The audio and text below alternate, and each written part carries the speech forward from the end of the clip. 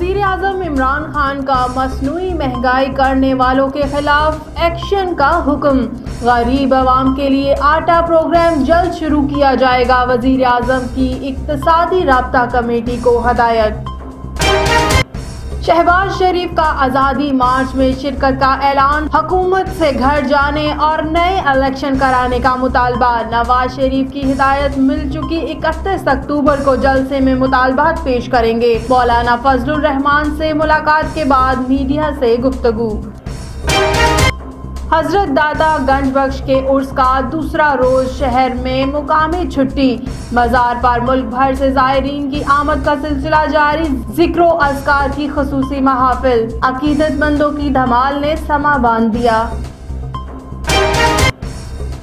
Emergency officer ہاری پور اویس بابر نے director general rescue double one double two کی خصوصی ہدایت پر۔ عوام الناس تک rescue double one double two کی بین الاقوامی طرز کی مفت سہولیات کی فراہمی کے لیے سٹاف کو گیارہ اسٹیشنز میں روزانہ فرسٹ ایڈ اور فائر فائٹنگ کی تربیتی ورک شاپ اور مشقوں کے انعقاد کا آرڈر جاری کیا۔ ایمرجنسی آفیسر کے مطابق روزانہ اس ٹریننگ کا مقصد ہاری پور میں موجود تمام سٹاف خواہ وہ ڈرائیور ہوں یا سیکیورٹی گارڈ سب کو ہر قسم کے جدید آلات سے آگاہی فراہم کرنا ہے۔ اس موقع پر ایمرجنسی آفیسر نے کہا کہ ریسکیو اہلکار ہر قسم کی ایمرجنسی سے نبٹنے کے لیے دن رات مصروف عمل رہتے ہیں۔ نئے پاکستان میں سستا گوشت فروخت کرنا جرم بن گیا۔ بھکر کی تحصیل کلور کوٹ میں نجی پولٹری فارم نے۔ کمپنی کی طرف سے سستے اور معیاری گوشت بیچنے پر انتظامیہ نے پکڑ دھکڑ شروع کر دی۔ عوامی رائے کے مطابق چند دکانوں پر مہنگا اور چند دکانوں پر سستا گوشت فروخت کیا جا رہا ہے۔ پولٹری فارم کے مالک کا کیا کہنا ہے مزید دیکھتے ہیں اس رپورٹ میں۔ انتظامیہ کو پریشانی، ہمیں ہراساں کیا جا رہا ہے۔ ہمارے جو ہے نا ملازموں کو پنجاب پولیس والے یہاں دکان سے اٹھا کے لے کے گئے۔ کیا تکلیف ہے انہیں؟ ہمیں بتایا جائے۔ عوام کو ریلیف دینے پہ اگر انتظامیہ کو کوئی تکلیف ہے تو ہمیں اس چیز کا جو ہے جواب دیا جائے۔ سستی چیز دینے پر پابندی ہے۔ عمران خان کے ویژن کو اگر پورا کیا جا رہا ہے تو ہمیں بتایا جائے، یہ بیمار سامنے بیچ رہے ہیں، انہیں کوئی پابندی نہیں۔ چھوٹا مال بیمار جو ہے نا لاگر بیچ رہے ہیں، ان پہ کوئی پابندی نہیں۔ ہم صحت مند، یہ دیکھ لیں، سستا بیچ رہے ہیں تو جو ہے نا ان کو تکلیف ہے۔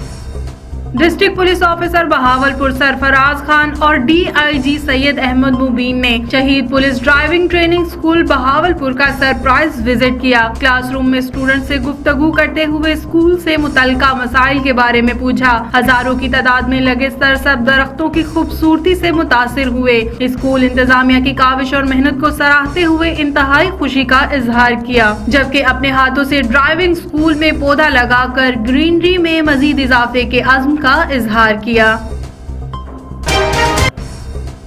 Additional I G Punjab highway patrol S P patrolling D S P patrolling کے احکامات پر ضلع بھر میں اسموک کو کنٹرول اور روکنے کے لیے پیٹرولنگ پوسٹ کندیا موڑ نے مہم کا آغاز کر دیا۔ اسکول کالجز میں لیکچرز کے علاوہ ڈرائیور حضرات کو بریفنگ دی گئی، جس میں incharge mobile education unit A S I Muhammad Ishaq نے کہا کہ دھواں اور ماحولیاتی آلودگی انسانی زندگی کے لیے نقصان کا باعث ہے۔ ڈرائیور حضرات دھند اور اسموک کے موسم میں فوگ لائٹ کا استعمال ضرور کریں غیر ضروری سفر سے بھی اجتناب کریں۔ میڈیا میں خبر شائع ہونے پر D P O Chiniot Syed Hasnain Haider نے واقعے کا نوٹس لیا اور تھانہ بوانا نے ملزمان کو گرفتار کر کے مقدمہ درج کر لیا۔ ملزمان کے خلاف مختلف دفعات کے تحت مقدمات درج کیا۔ اس موقع پر D P O Chiniot Syed Hasnain Haider کا کہنا تھا کہ ہم قانون کی بالادستی کو یقینی بنائیں گے۔ اسی کے ساتھ بھی ظلم اور زیادتی کو ہرگز برداشت نہیں کریں گے۔ وابڈا کی ٹیم پر بجلی چوروں اور نادہندگان کا حملہ۔ غیر قانونی کنیکشن منقطع کرنے پر علاقہ مکین بفر پڑے۔ ہیسکو عملے پر حملہ آوروں نے ڈنڈوں اور اینٹوں سے حملہ کر دیا۔ ہیسکو حملے کے باعث دو ہیسکو ملازمین کے بازو ٹوٹ گئے، جبکہ دو ملازمین شدید زخمی۔